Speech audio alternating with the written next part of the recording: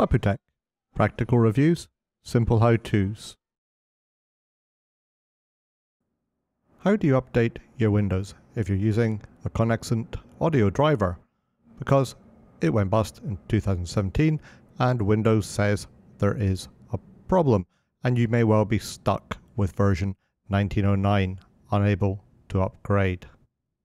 So go to the Windows website, link down below, and it'll explain to you the problem. Basically, if you've got an HD audio driver or any Audi ISST audio from Conexant, and it is a file version 7231 decimal 3 decimal 0 or lower, then it won't let you update.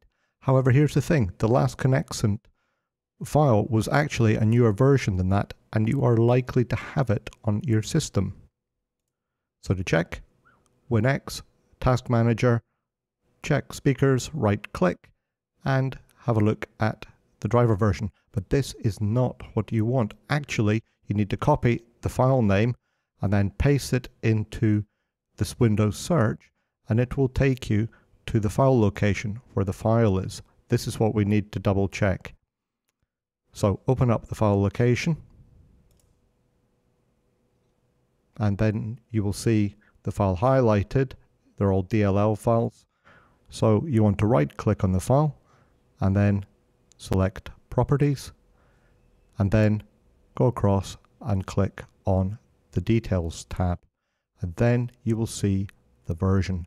And as I say, the latest version from Conexant is 72314. So it is a more recent version and you can go ahead and force a Windows update. So X out of that, go to the Windows update page, link below, and you can actually force Windows to update because you comply with the requirements. It'll take a while, it's a major update, but it will work. And you will have version 20H2. Thank you for watching. Thank you for watching Papoo Tech.